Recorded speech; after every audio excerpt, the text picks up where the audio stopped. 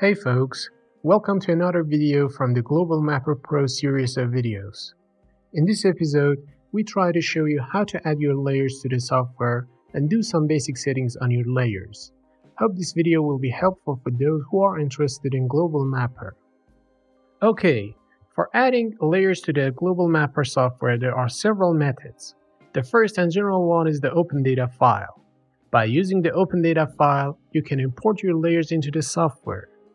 As you can see, its icon appears on the top of the main window by default. If you haven't had the Open Data file icon among the toolbars, you can go to the File tab and select Open Data or even press Ctrl O on your keyboard. In addition to the Open Data file, there are various methods of importing data into the software here. And finally, by using the Open Data File option, we import our layers into the software.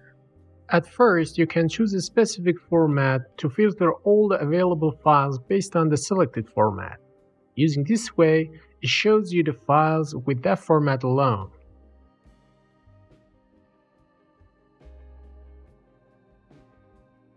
Here we select the shapefile format as an example. If a folder doesn't have such a layer, it won't be displayed for us. So we go to the next folder. There are a few layers here which by selecting each one, we can import it to the Global Mapper software. Here, we've imported the layer of provinces.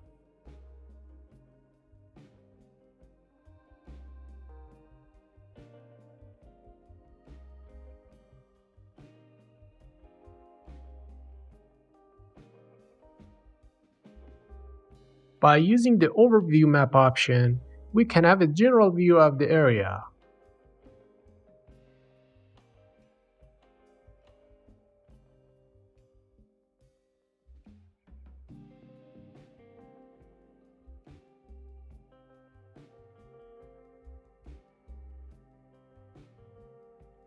As with any other software, there is also a zoom tool that can be used to zoom anywhere on the layer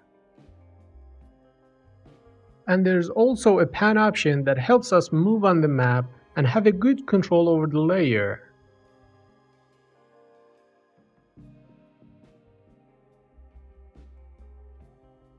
The full view option fit the map to the view window. The feature info tool allows us to query the layer. In other words, it gives the information of each part of the layer that we select.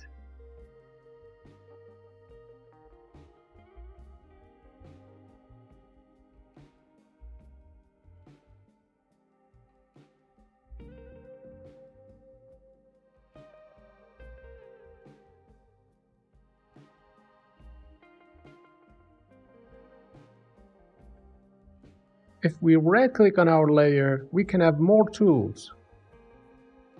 For example, using vector option, we can make changes on our vector layer. First, we can change the label of the layer. By turning off this option, the label of our vector layer will be turned off. In this section, we can change the label and select the desired field as a label to be displayed on the vector layer.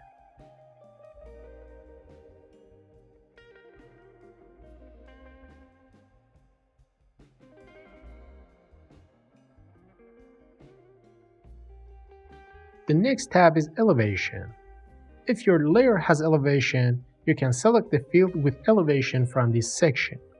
Since we don't have elevation in this layer, we'll let it go. But if you'd like to choose, specify the elevation field in the attribute table in the first item. Set units and models. That's it. The next part is feature type.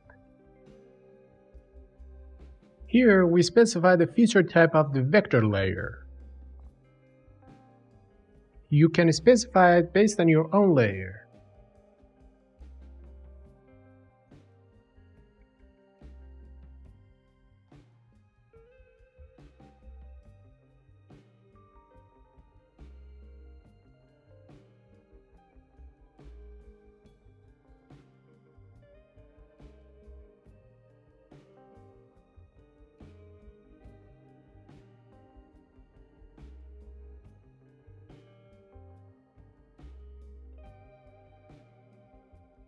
The next tab is Layer Projection. Here is the section where we can choose or change the coordinate system of the layer. We can also replace the coordinate system of another layer with the coordinate system of the imported layer, or add datum and change units.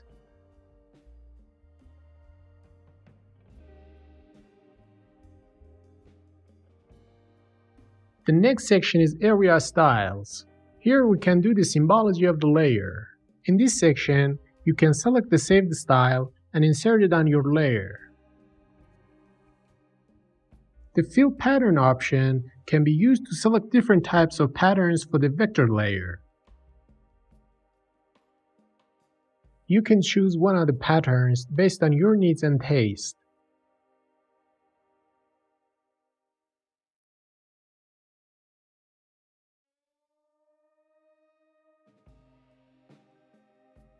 We also choose the color to make it look more attractive.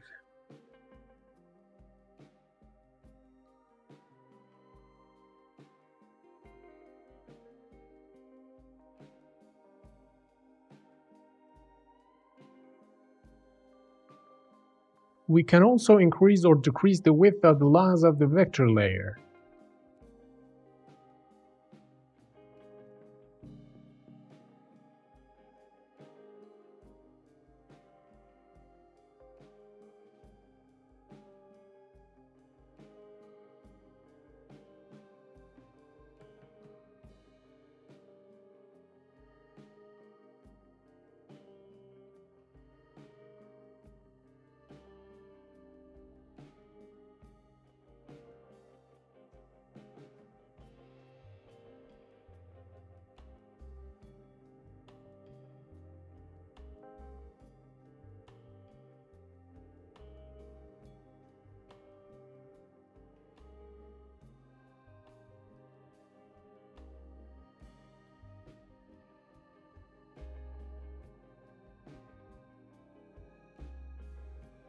We'll right click on the layer and select layer attribute. You can see all the features here. Each field has its own information. And there is a field for each separate province. The columns specify the specific information of that field. Settings can be made in this section. Edit, delete, and so on. If you want to add a raster layer to the software, we need to select TIFF or all formats.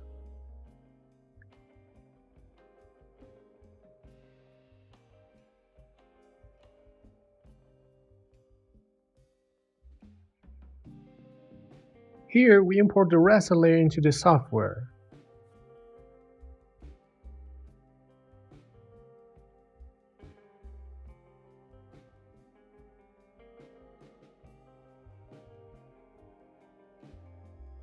As you can see, the raster layer can be displayed well here.